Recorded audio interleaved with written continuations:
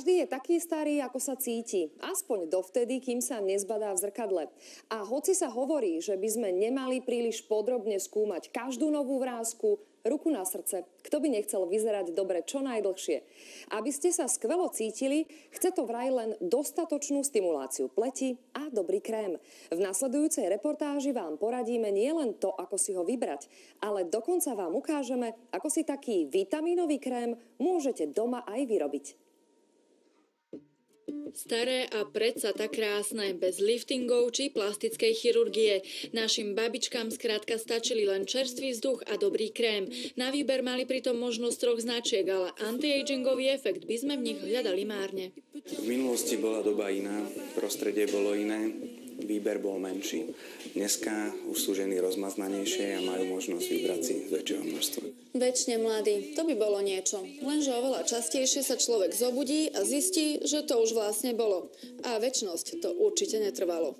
Tak nejako takto sa začína náš osobný boj s neúprosným časom, najmä ak človek patrí k tej menej šťastnejšej skupine a telo mu dáva jasne najavo, v ktorej vekovej kategórii sa práve nachádza. Ide o ženy, ktoré presne vedia, že mám 20 rokov, mám 30 rokov, 40 a tak ďalej. A práve tu je dôležité postarať sa nielen o povrchovú vrstvu kože, ale aj o tzv. dermu.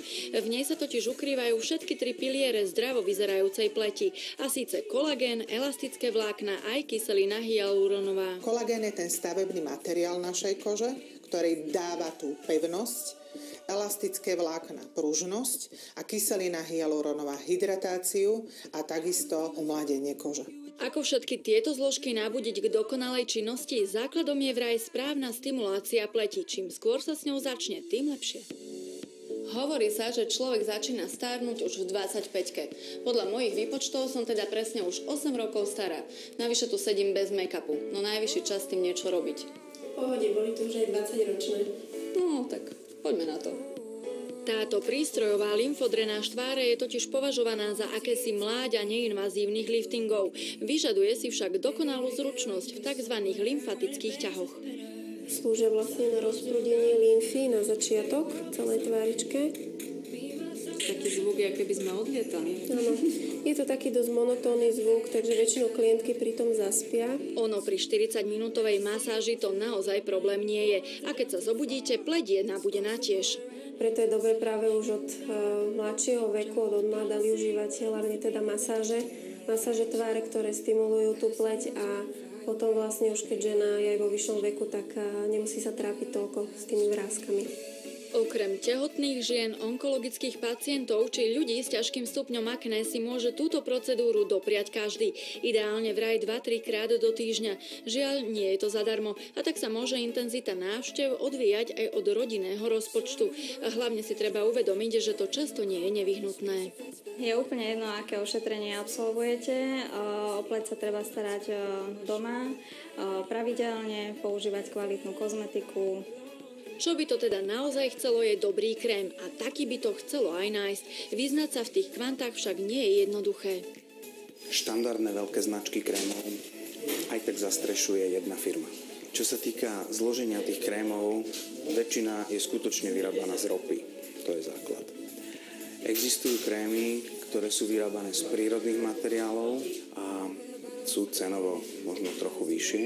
Nájsť porovnateľné krémy za porovnateľné ceny teda nie je problém. Najdrahší krém je pritom ten, ktorý nesadne.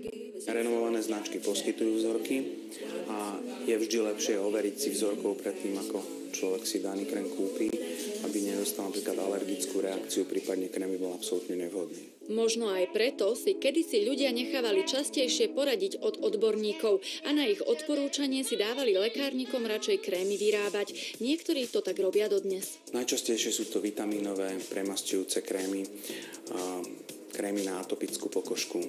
Na rozdiel od hromadne vyrábaných krémov, tieto zarábané neobsahujú rôzne antiagingové zložky, stabilizátory či antibakteriálne zásady a vydržia podstatne kratšiu dobu. Aj tu treba k expirácii pristupovať dôsledne.